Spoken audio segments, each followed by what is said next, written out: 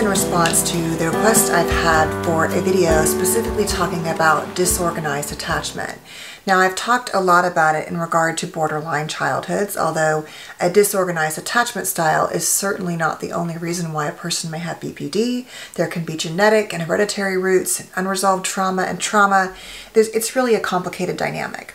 But when we think about disorganized attachment, I often use this example when we think about what experience a child might have with a parent, especially an untreated borderline parent who may often be dealing with their disorder, their own unresolved trauma, dissociation, difficulty in um, you know, regulating emotions, with identity, and relationships in general. So in this video though, we're just going to talk about what the classic disorganized attachment experience looks like. Now really quickly, I'm Dr. Kim Sage. I'm a licensed clinical psychologist and I hope you'll consider subscribing and clicking the bell and that way you'll get notified when I post new videos. Now, let me just say that if you want to watch more videos on attachment, you can check out these videos here. But remembering that attachment is generally the way that we engage with our primary caregivers and sort of the map or template that sets up sort of for, you know, what love looks like, what security looks like. Can I rely on people? Can I not? Am I more independent? Am I not? Am I safe? Am I not? It goes into all of those issues, which I also discussed before. But the hallmark of disorganized attachment is different from our other three styles, which are secure, insecure avoidant or insecure dismissing and insecure anxious.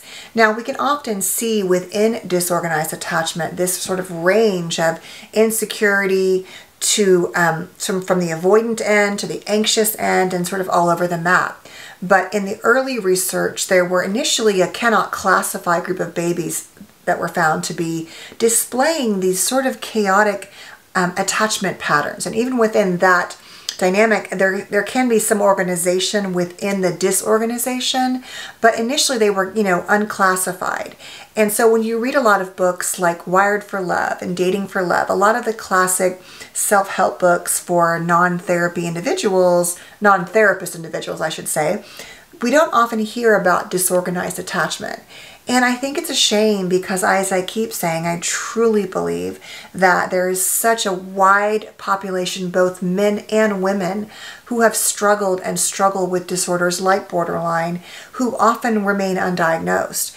And because the their deep need to be in relationship can sometimes and often mean that the love can be good, but can also be really bad and really hurtful.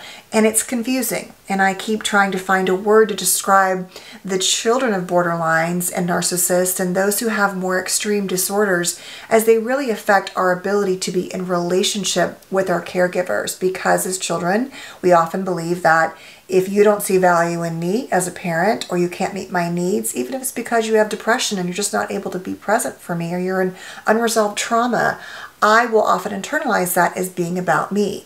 So not only does it affect the actual caregiving interactions, but how I internalize and come to believe, you know, what love looks like, what relationships look like, how I see myself and my value in the world and as I keep saying, the core of so many of these issues is our sense of being worthless and not lovable, which really is, I think, the biggest problem with how these difficult childhoods affect our adult lives. So, Disorganized attachment is really a situation where we have a parent who often is struggling with being responsive. They're often unresponsive as a result of their own unresolved trauma, their own, you know, difficulty in navigating consistency of self and other in terms of the world.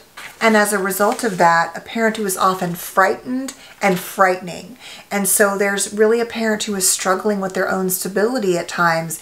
And you can imagine that if you are a parent who has your own unresolved trauma or difficulty or, or some sort of genetic, you know, brain um, uh, change or response to the way you sort of came out of the womb that certain things are going to make life harder, especially parenting, given that parenting, I, as I keep saying, I really believe is one of the hardest things you'll ever do.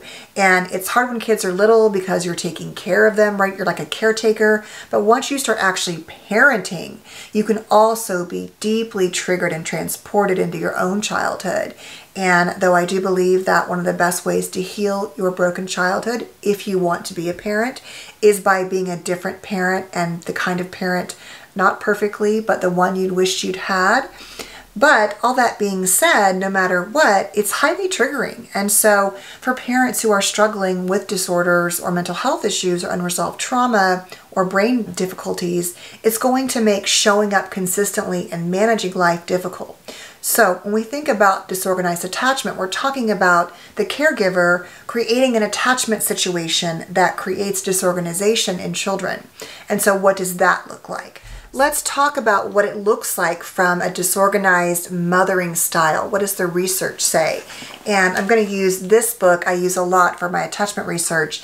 It is the Brown and Elliott book, um, attachment disturbances in adults. And if you are not a clinician, I will say you might find this book to be a little too much, but you might visit theattachmentproject.com as they have created a website that really integrates the more clinical part and research part into material that you might find interesting and helpful. So this presentation though we'll just talk about what disorganized mothering looks like.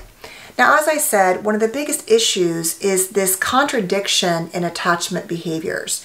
And so we have attachment that has no real um, organization or goal to it. It is chaotic. And so there's this direct disorganization of the attachment system, meaning that what I did yesterday to get needs met today by you might not be the same.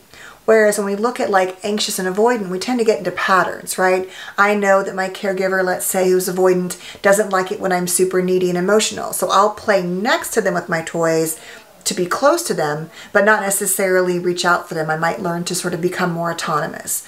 Or I know that with an anxious attachment caregiver, certain things are going to activate their anxiety. And so as a child, I sort of learn over time to modulate my responses. With disorganized attachment, it's all over the board. And not only that, but there's a, oftentimes a, an unresponsiveness. The child is not, their needs are not met because the parent is often struggling to meet their own needs, as I was saying, because of unresolved trauma or loss, or because of their own dissociation, their own difficulties, and things like that. So the research shows that oftentimes, as a result, the children of these parents often had prolonged separations from the caregiver, meaning that the caregiver was either not physically there or, or, or emotionally or, or mentally there. And oftentimes, because if you think about it, if you have a, a, a, disorder in an extreme way, you may actually leave the home. You may become fearful and take off. You may have to pass on caregiving to other caregivers. These babies had mothers typically who have more difficulty with alcoholism and depression. And the mothers often have a pattern of both, as I said before, being frightened and frightening. So these oftentimes they're terrified and scared and or rageful and scary. We often see disorganized attachment moms having difficulty with like I said, anger, so they can often be really loud and really aggressive and really dangerous, you know, mentally, physically, and emotionally. At other times, the parent is confused and tentative and not sure what to do and frightened, maybe being triggered by their own, you know, traumas or dissociations that make them scared or terrified. But the biggest problem with this with this disorganized attachment is that the source of safety, which is supposed to be our attachment figure, is also the source of fear. And I just discussed that in this video, but this is a real dilemma. What do you do when the person who's supposed to keep you safe you also have to protect yourself from. And it's often referred to in the literature as fear without solution. You're terrified, you're afraid, you have to defend and respond, but there's no real solution for that.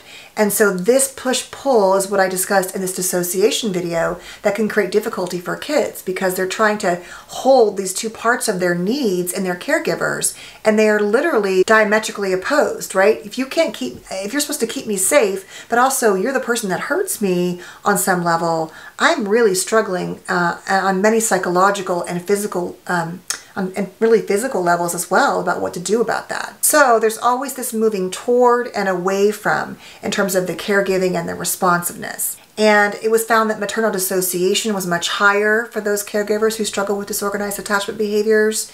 And these unresolved states of mind and, and, and problems often create this dissociation like I just talked about, right? So you can imagine if you're trying to navigate all of that and then try to also parent a needy child, that can be really overwhelming. So as a result, the parent is often so into their own status in terms of managing themselves, or states, I guess is a better word, that they are not able to attune or attune very well or consistently. And remember, attunement is about I see you, I feel you, I get you, I can be present and validate you and give you what you need.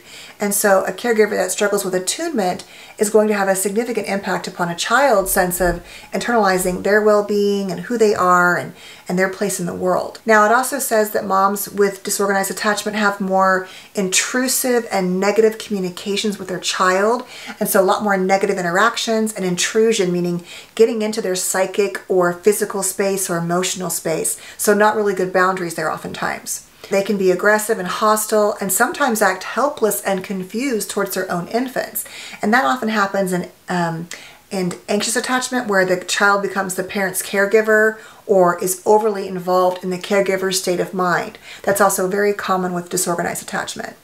That's where your parent is like, you know, making you their best friend and telling you too much about their life and asking you for solutions and help.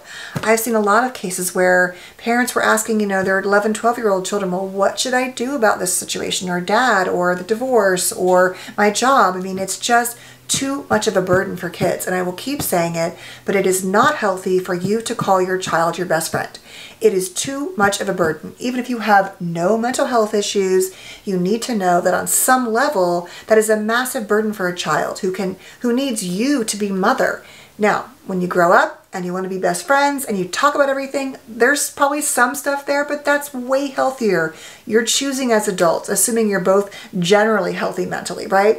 But to grow up always feeling as if you are responsible for your caregiver, especially if your caregiver was unstable, unresponsive, disorganized, and or just generally not able to access their adult selves, that places the burden on you to be the adult well before you are emotionally ready or able to do so. And at the at the later stages of life, when your parents are elderly and they're maybe declining, and you're becoming more and more the adult. That's very different than being the adult at you know 10, 11, 12, 14 years old. So it says that these parental failures result in a child's inability to maintain closeness, safety, comfort, security, and connection to the caregiver because the caregiver makes sense can't provide those things. And so these babies often have a greater negative emotional arousal.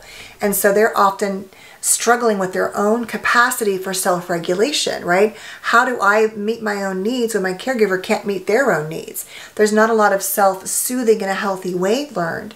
And so the babies are often left in this helpless, chronic state of frustration themselves. And that creates more negative affect states because if you think about it, you know, nothing's worse when you have a screaming uh, screaming, crying baby and a parent who can't handle it, which let's be honest, we've all felt at times. But if that happens again and again and again, you're both left in states of helplessness, except for the adult technically has more resources, but a baby or child has is really none. We also can see inhibited play for kids of these kind of moms, and I'm saying moms, but it can be whoever the main primary source is, and that sometimes we can see aggressiveness and explosiveness and helplessness in the children themselves too, right? Because they really are out of control. There's no one to contain them. The idea of the attunement is we actually contain and hold. I can hold it. I got it. I got you.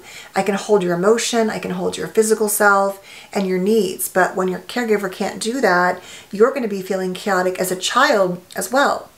And so that can really manifest in marked difficulty with developing a sense of self and self regulation, which, as you grow into an adult, if you have a caregiver who struggled like that, that's why I talk a lot about on this channel, you're going to have a lot of your own issues oftentimes with mental health issues, which can manifest in CPTSD and, you know, not only chronic mental health issues, but physical health issues and relationship issues, and certainly a sense of self and worthiness that can be hard to, uh, that can be hard to manage. So the bottom line is that this concept of the source of safety was also the source of fear. The idea of the unresponsiveness and frightened and frightening states and the really internalization of, of not being responded to and not being attuned to and not being held and contained psychologically, physically, and emotionally has really significant impacts on our adult lives. And so let's say there's a um, genetic predisposition for borderline yourself, right? Then you have a borderline parent who, who struggles, especially untreated with this idea of disorganized attachment. It's much more likely you're going to struggle at a minimum with your own self-regulation and sense of self, like I'm saying, and relationships and things like that.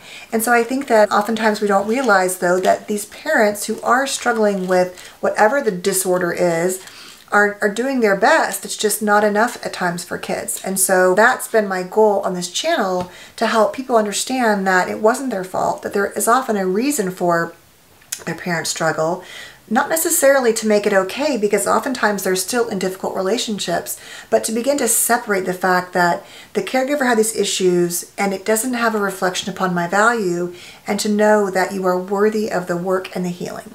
So I hope this was helpful. Please feel free to post your thoughts and questions or what you want down below. And I'm going to make a video on this, but I'm going to be asking for your help. I want to create a course, a full-on course specifically for children of borderlines separately and children of narcissists separately and other disorders because I truly believe that it is a very unseen population.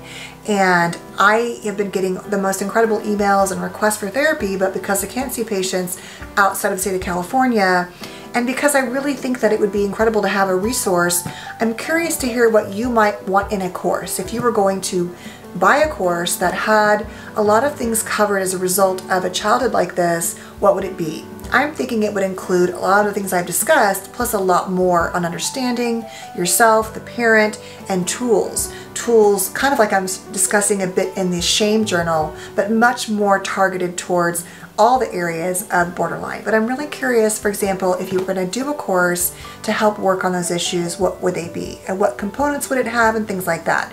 Knowing that it can't be therapy, but it will be very therapy, research, and psychology related and targeted towards you as the you know young adult and adult child. So please feel free to share your thoughts. I want to start building the course if I can find the time. You probably noticed I'm struggling at times to get videos out on time because I am blessed to work full time and it is frankly a lot but I would like to create a situation where I can see a few less patients and spend more time building free YouTube videos and also more in-depth courses. But I'm very curious to see what you think and what your thoughts are so I can create stuff that you guys would find helpful. So thanks for watching. Please stay safe and well, and I'll see you next time. Bye.